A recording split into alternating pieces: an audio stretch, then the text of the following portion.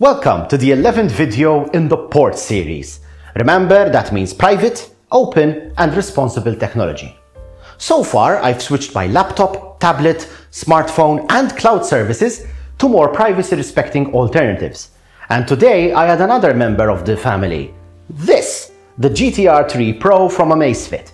Join me as I unbox and review the smartwatch and tell you why I bought it in the first place.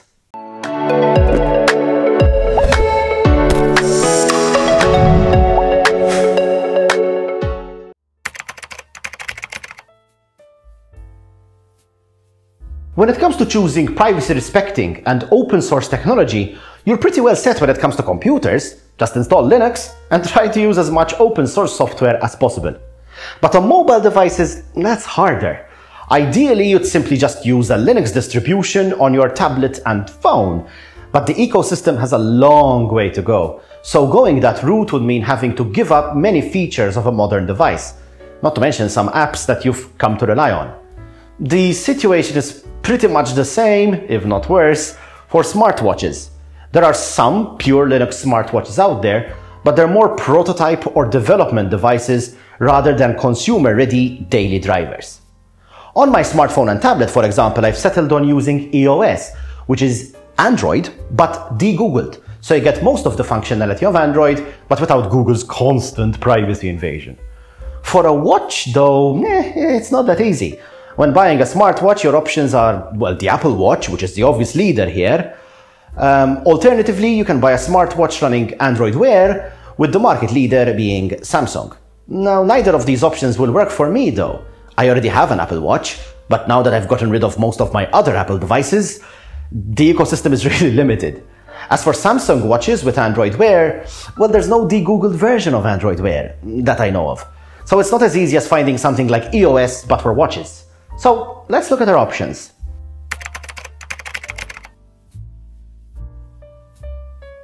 Being less mature than the desktop, tablet or phone market, our options for a privacy-respecting open source smartwatch are limited.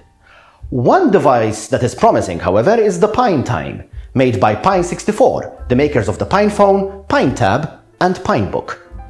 The PineTime is essentially a smartwatch platform which you can then use to run any open source smartwatch operating system you want. It features a 1.3 inch 240 by 240 IPS capacitive touch display powered by a Nordic Semiconductor 64 MHz system on a chip. It has 4 MB of storage with half a megabyte reserved for OS storage as well as Bluetooth 5 and Bluetooth Low Energy. Sensors include health tracking with step counting and heart rate detection and notification access with vibration lift to wake. The PineTime comes with a 180 mAh battery, which is claimed to last a week. It weighs just 38 grams, it's made from zinc alloy and plastic, and is IP67 dust and water resistant. Incredibly, the watch retails for just $27. Being a watch platform, it's then up to you to choose an operating system for the device. One popular choice is Infinitime, which is written specifically for the PineTime and makes use of all of the capabilities of the device. Now, whilst the PineTime is an amazing project which I fully intend to support, even financially, it's still very early days. The watch is more of a platform than a consumer product, and whilst interesting, it will not replace all the functionality you need as a daily driver. An alternative is to flash an open source OS on your existing smartwatch. That's where AsteroidOS comes in. Asteroid is a fully open source Linux-based OS. It supports a number of smartwatches, including Asus Zen watches, Huawei watches, LG, G series, the TicWatch, and others, with more in the pipeline. Feature-wise, Asteroid provides basic apps such as phone notifications, agenda, alarm clock, calculator, uh, remote music controls, a stopwatch, a timer, weather, and so on. The OS is highly customizable with several themes and watch faces. It also comes with a rich SDK for developers to work with. Now, whilst this is a very promising option, the list of supported watches is limited, and of course, so is the functionality.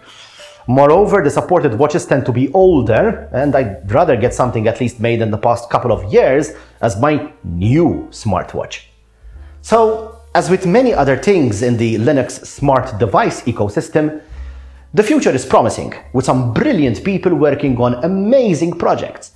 But I need something now, and that's where the GTR 3 Pro comes in.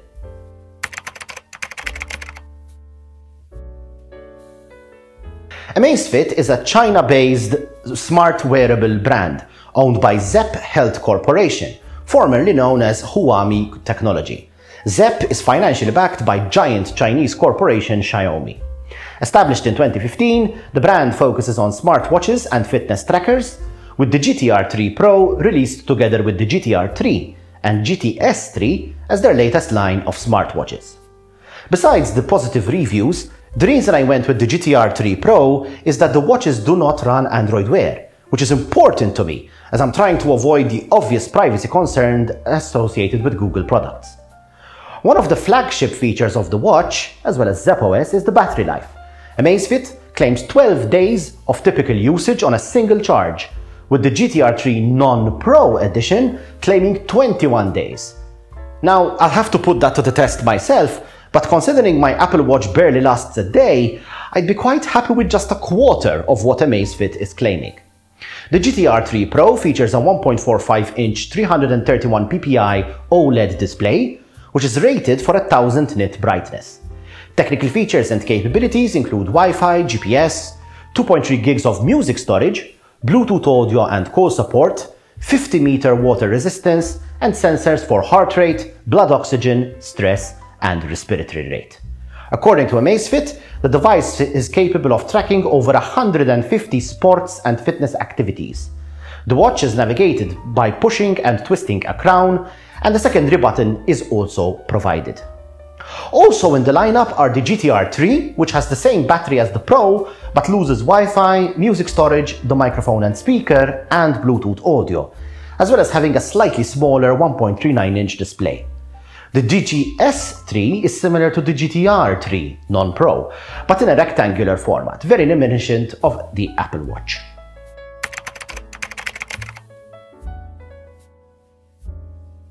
So here we are with the GTR 3 Pro. Uh, as you can see here, it says powered by Zepp OS.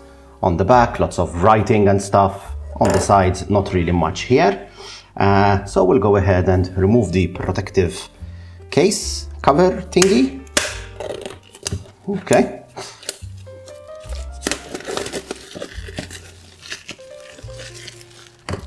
There we are.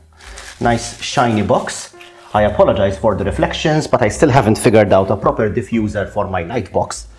Anywho, um, so I guess uh, this opens uh, how exactly? Uh, okay, from here, from the bottom.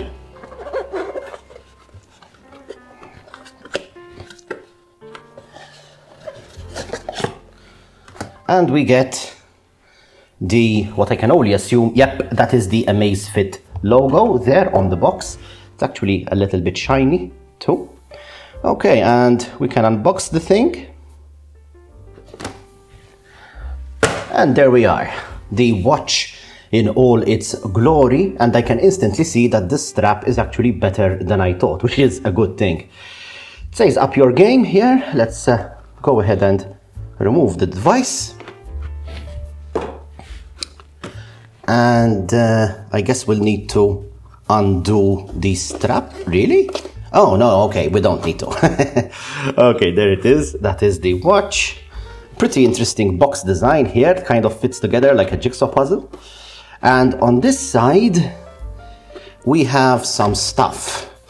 Let's see what stuff there is. Okay it is a little booklet which is actually the product manual in a bajillion different languages uh, basically the basic parameters. Blah blah blah yada yada yada. Okay. And on the other side I assume we find the charger which we do. Really quite a nice pleasing box design here. And uh, let's go ahead and open this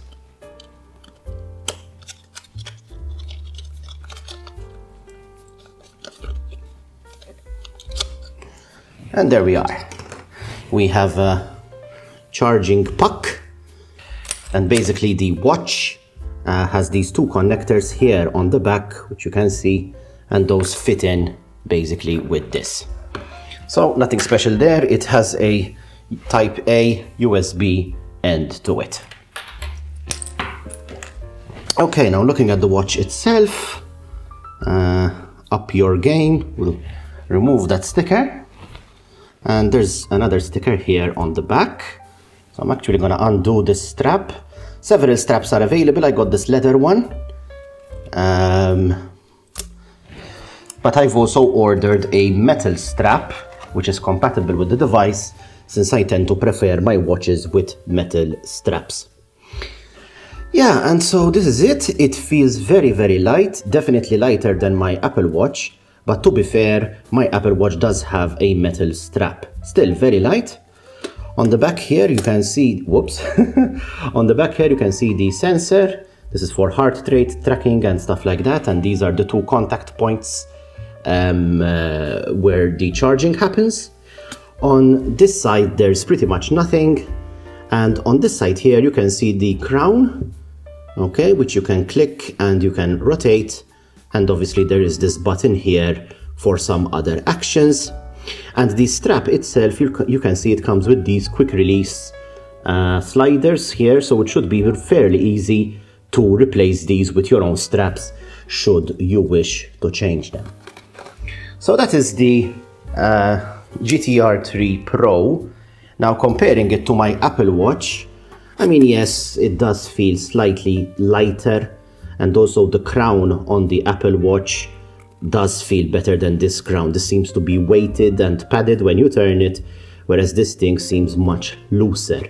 But then again, I mean, it is sort of to be expected. This is a much, much more expensive device, and the loop itself does add quite a bit of heft to it, even though this is the aluminium one. Okay, so let's go ahead and power it on. So I'll click and hold here.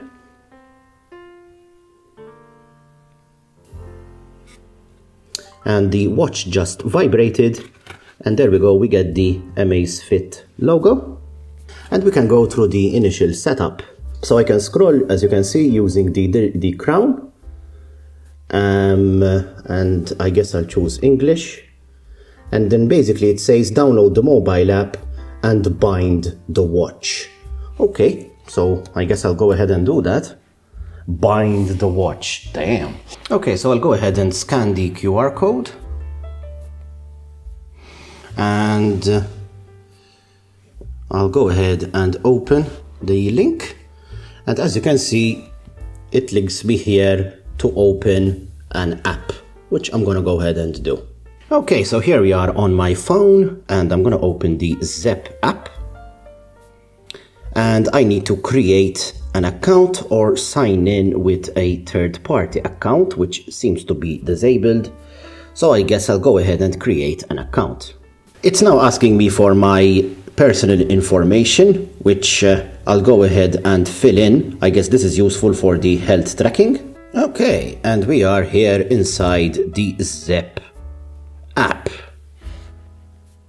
Now, what do I do to sync? Uh, um, ah, my devices. Add device. There we go.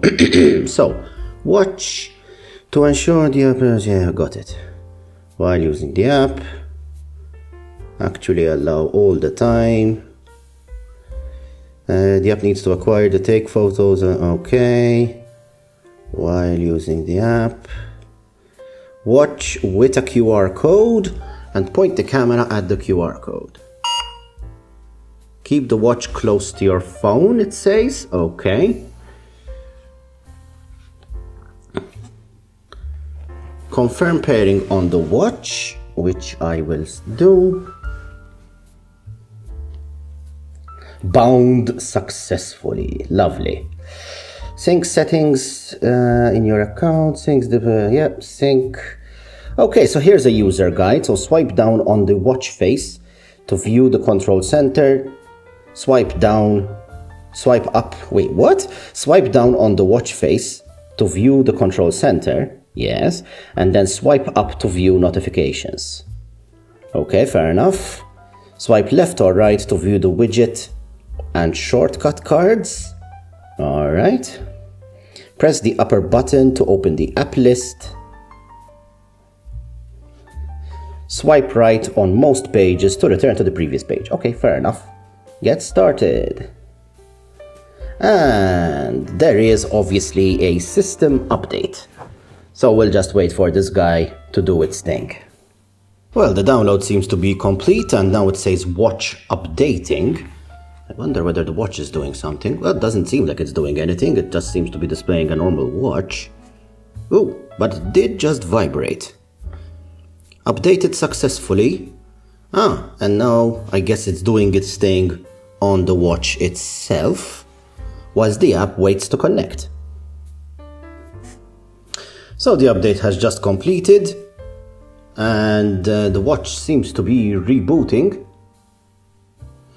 And it says update completed, and basically it's telling us what updates were installed. Alright, and now the watch shows up on my app. It says 49%. So I'm going to go ahead and zoom in on the watch now and we can see what's happening on the watch whilst I play around with the app. Okay, so uh, let's see what comes on the watch by default. So you can see here it has this interesting background and by default we have an analog face, which I guess makes sense on a round watch. This is actually going to be new for me. I've always used a square style watch. Uh, so let's see. Okay, so pressing this brings the applications. And by default, we have heart rate, blood oxygen, one tap measurement, workout and workout history, stress, activity, sleep, phone, weather, music, alarm, calendar, settings, and more stuff. I wonder what this PAI is. Uh, okay, so this is the personal activity index score health thingy. I'm not the right guy to get health advice for. Uh, swiping down from the top, you can see we have the uh, control panel. We have a torch, really? Oh, okay. That's just a white screen. Fair enough. And uh, we also have theater mode. Uh, what is this? The watch screen will stay lit, which reduces battery life. Okay, Interesting. We'll keep that off. Uh, calendar. It's gonna be handy once I sync my stuff to it, I hope. Uh, what else? Uh, audio level. Yeah, okay. And as I turn the crown, I get some vibrations for digital feedback and stuff. Here we have the battery, and there's apparently some sort of battery saver mode. What is this? Okay, so this is the brightness of the screen. It's currently at full brightness. This is, oh my god, really loud. Okay, so if you lose your phone, that is apparently how you find it. It is immensely loud, but then again, I guess that's what you want. Uh, Bluetooth settings, what's this? Long press any, what? Oh, okay, screen lock. Okay, you just press and hold a button to unlock, and then we have the settings here watch face, display, sound, vibration, etc. etc. Okay, so yeah, I think that's pretty cool. Seems to be working just fine, and honestly, that's pretty cool. Now, swiping here, you can see I have my activity view, number of steps, and here we can go back to the watch as you can see and um, we have yeah so that's the step counter. Here we have yeah, this is also the step counter. Yeah okay. So i guess this is just using to, to display the steps amount of activity and your personal fitness score. This is your heart rate. Obviously i'm not wearing the watch so that's going to be difficult. Uh, weather and it seems to have picked up my location. And as you can see it's displaying all the stuff. That's pretty cool uh, this is the personal activity score thingy. And music. And it seems to already have something here. Running of fields of wheat. Let's see what this is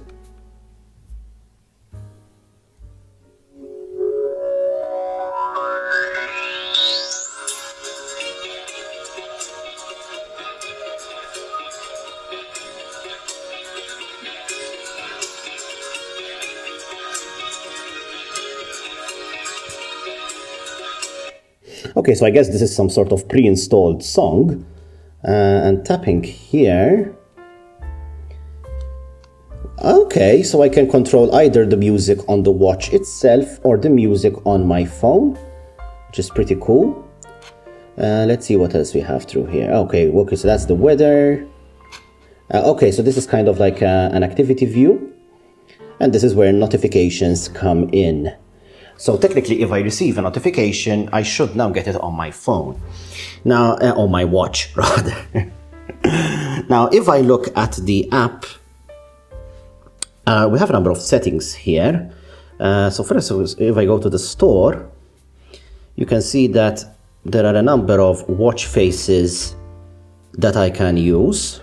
Okay, uh, some of them analog, some of them uh, digital okay and here there's watch face management and I can choose the watch face that I want. Okay so this is pretty cool. So if for example I'm really interested in weather I can tap here and now it should have updated the watch. Yep as you can see it has updated the watch face. So let's look at some other ones of these. Yep so that one is a typical chronograph with the moon phase and uh, here we have chronograph with step counter and stuff like that okay etc but it does say here in the app that I can get more watch faces. And uh, as you can see here um, it's basically a very large list of watch faces that I can use which is pretty cool. I don't see any watch face that shows calendar information here but I guess that's something I'll have to look at, or maybe it's something not supported. I like to have at least my upcoming appointments on the watch. There's even a Nixie Tube style watch face here. I'm sure Mark from Techmoan would enjoy that. Although it is called metal filament. Um, yeah. Okay, so that, that's a lot to explore. And here we apparently have the top watch faces up here.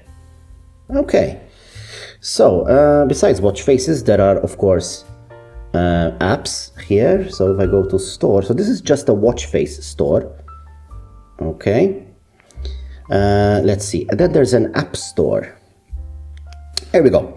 And here we have apps that I can install on my watch. Now, as you can see, it is a limited set. Okay, we have some sort of GoPro control, smart home controller, water time, BMI, pregnancy assistant, watch storage space, teeth brushing, SOS flashlight, calories, and a simple calculator. Uh, so that's apparently the apps that are specifically made for this watch. If I go to notifications and reminders, I can enable some uh, alerts. Uh, so I'm going to allow Zepp to access notifications from here. By the way, I am showing you this on an Android, but the, the watch is just as happy to work on iOS. Okay? Uh, so, watch will vibrate upon receiving a push message. Make sure watch can receive notification alerts. Go to the, uh, Zepp should run in the background to receive app alerts. Add Zepp to exceptions. So I've enabled app alerts. However, I do need to keep the Zepp app running in order for this to work. Uh, I've enabled a standing reminder and I've also enabled a do not disturb, which I'll start at around 10 p.m. I guess, or maybe 10.30. Uh, till 8 p.m. Let's see, 8, actually let's make it till 7 till 8 a.m.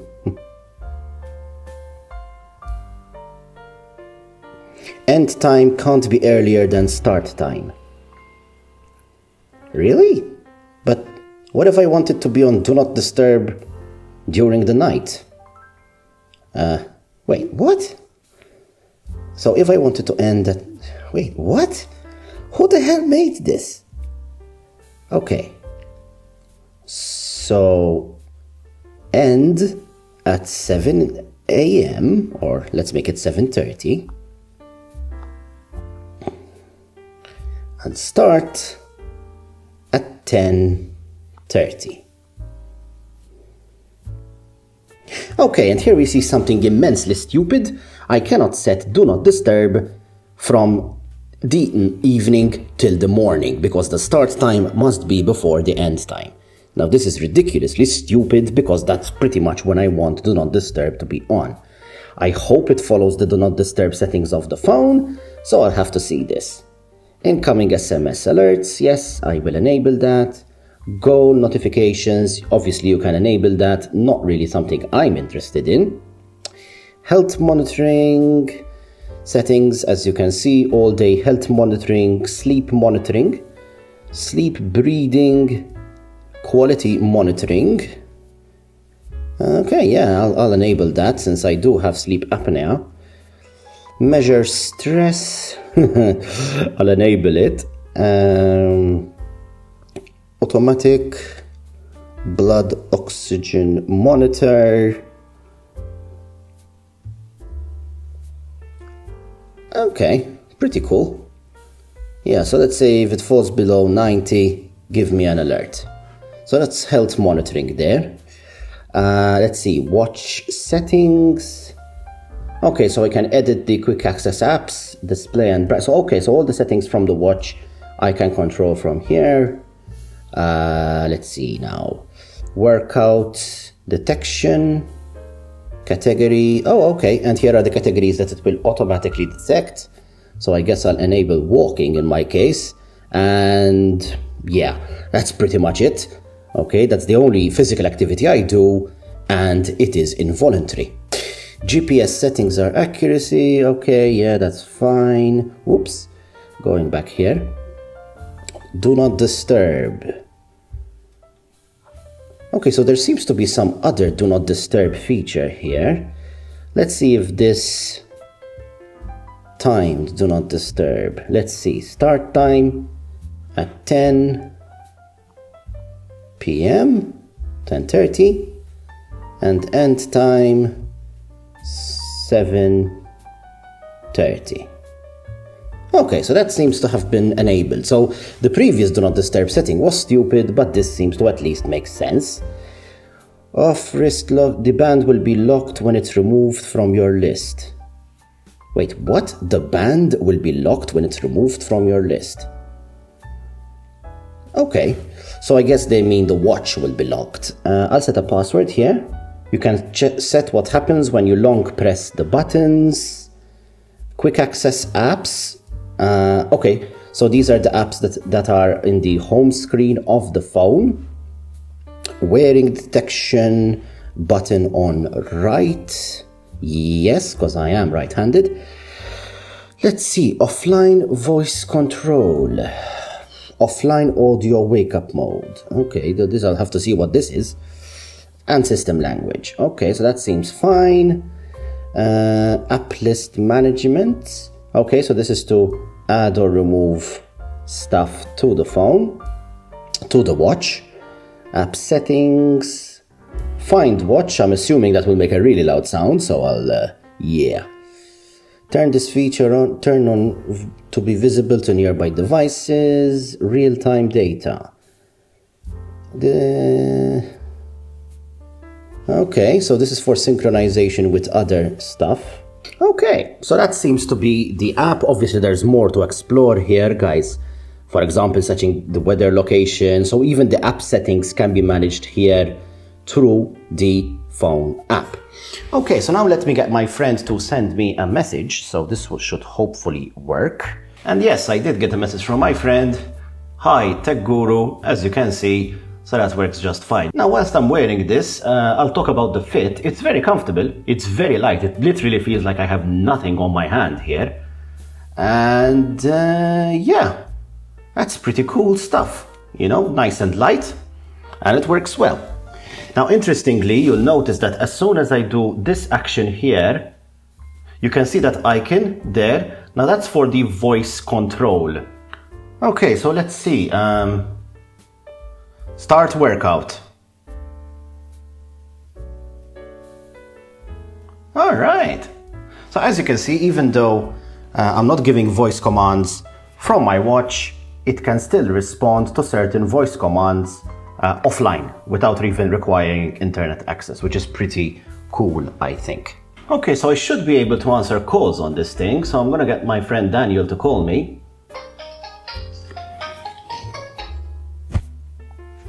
Okay, and as you can see, the call is coming in. Hello. Good afternoon, Tech Guru. Good afternoon, sir. I am currently talking to you from a watch that is not actually running Android. Can you hear me? Yes, I can hear you perfectly fine. Okay, so let me just check the volume here. Yep, it's at full volume. Okay, so, and you can hear me fine? Yes, I can hear you fine. That's brilliant. Thank you very much, sir. Much appreciated. No problem. Adios. Adios. Okay, so that worked perfectly fine. I can make and receive calls from the thing. Uh, you can actually synchronize up to 50 contacts on the watch itself to make a quick call. It unfortunately doesn't have access to all your contacts at this point. But honestly, if you have more than 50 people in your life who you call regularly enough to want on your watch, then you are a very, very popular person. Okay, so uh, uh, I guess I'll keep using this for a few hours to get a better feel of it. I think you get the basic idea with what I've shown you so far. And uh, I'll give you my closing thoughts.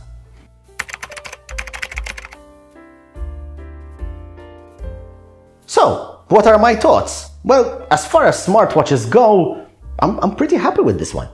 You'll notice I haven't really focused on the fitness features, since that's not really what I use a smartwatch for.